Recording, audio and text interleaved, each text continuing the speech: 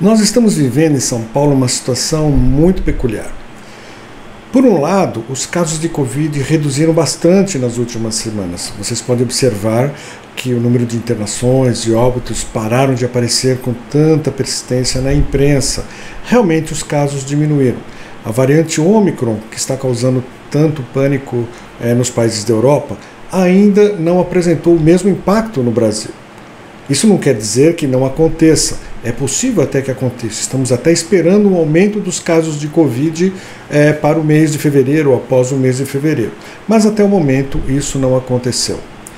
Se por um lado isso traz alguma tranquilidade, por outro lado, nós temos acontecendo em São Paulo um aumento muito grande de gripe, de influenza.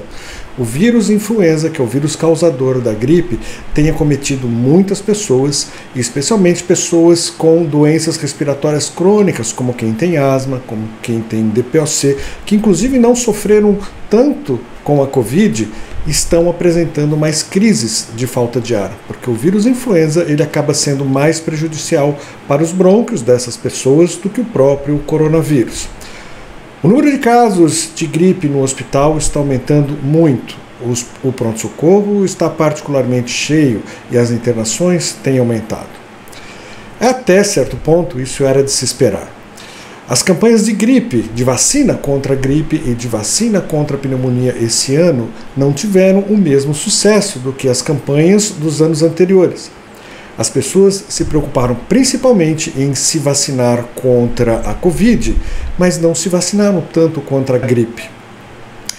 O que acontece é que, conforme as pessoas foram saindo das suas restrições, parando de usar a máscara, fazendo reuniões com várias pessoas, voltando ao trabalho presencial, o que aconteceu foi que os vírus respiratórios, que antes estavam também sofrendo é, é, restrições por causa das medidas de segurança, passaram a circular mais entre todo mundo. Então as pessoas passaram a transmitir mais umas para as outras o vírus, especialmente o vírus da gripe. E como boa parte da população não estava vacinada contra o vírus influenza, a maioria das pessoas não tomou a vacina contra a gripe, o que aconteceu foi que mais casos de gripe têm acontecido recentemente.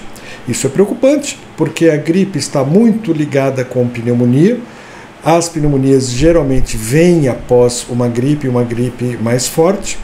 Então, é muito importante que as medidas de prevenção contra infecções respiratórias que vêm sendo utilizadas contra a Covid continuem sendo respeitadas pelas pessoas, principalmente evitar aglomerações, lavagem das mãos frequentemente e uso das máscaras, porque o uso das máscaras previne não só contra o coronavírus, mas também contra o vírus da gripe.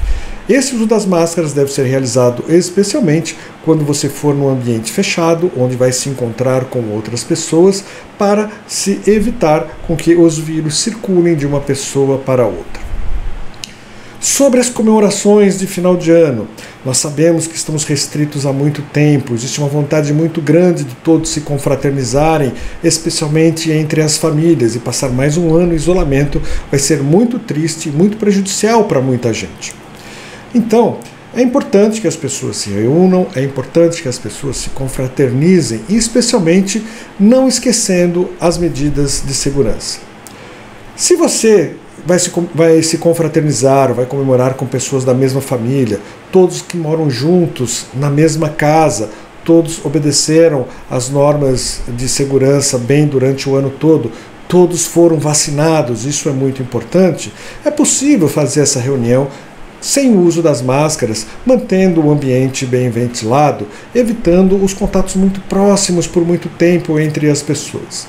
Se você vai se reunir é, entre família ou entre amigos, mas pessoas que moram em casas diferentes, é importante que todos também estejam vacinados. E é importante que o ambiente seja o mais aberto possível, com a maior ventilação possível e, de preferência, com o uso das máscaras se forem ficar dentro daquele mesmo ambiente por muito tempo, para que se evite a transmissão da Covid vamos pensar que alguém pode ter a infelicidade de estar portando o vírus, o coronavírus, mas principalmente também para se evitar a transmissão do vírus influenza. Então é importante observar essas normas para que a gente evite é, a contaminação e a disseminação dessas doenças.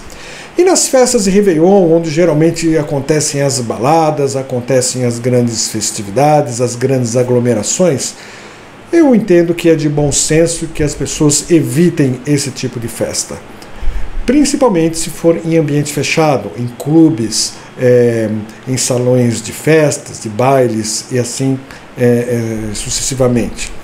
É importante que as pessoas evitem, porque a chance de haver alguém contaminado com o vírus da Covid ou ao ver alguém contaminado com o vírus da gripe passar para as outras pessoas, isso ah, pode acontecer e a sua festa acabar eh, se transformando, ao invés de um momento de alegria, num momento de tristeza. Vamos aproveitar melhor esse final de ano.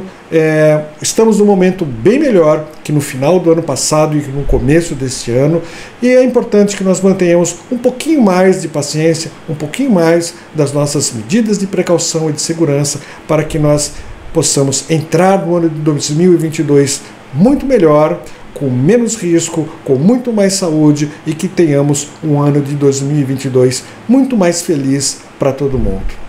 Um bom Natal a todos vocês, um bom 2022, um feliz ano novo e que estejamos todos juntos no ano de 2022.